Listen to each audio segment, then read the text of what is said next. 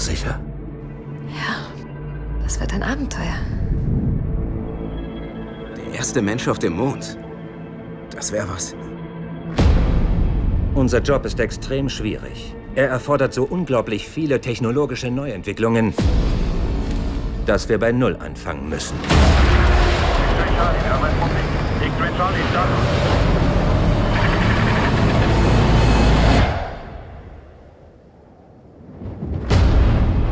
Erst wenn wir diese Aufgaben gemeistert haben, können wir daran denken, auf dem Mond zu landen.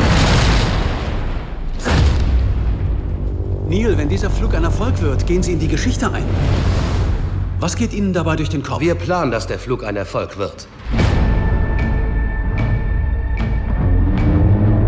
Das ist ja vielleicht ein fettes Gerät. Das Ding geht hoch wie eine Atombombe, wenn es explodiert. Die Kapsel ist nicht sicher. Wir müssen unsere Fehler auf der Erde machen, nicht da oben. Das ist keine normale Reise, Neil. Keine Fahrt zur Arbeit. Kommst du auch bestimmt wieder?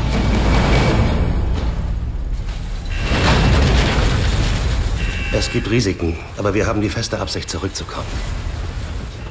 Hat jemand mal ein Schweizer Armeemesser? Schweizer Armeemesser? Soll das ein Witz sein?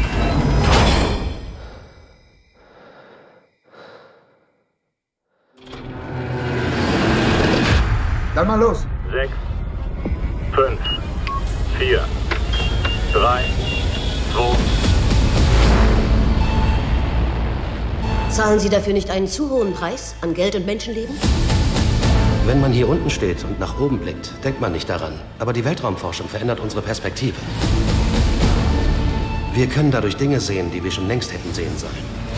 Wir haben ein ernstes Problem. Wir haben alles unter Kontrolle. Für euch ist das ein Spiel. Ihr habt gar nichts unter Kontrolle.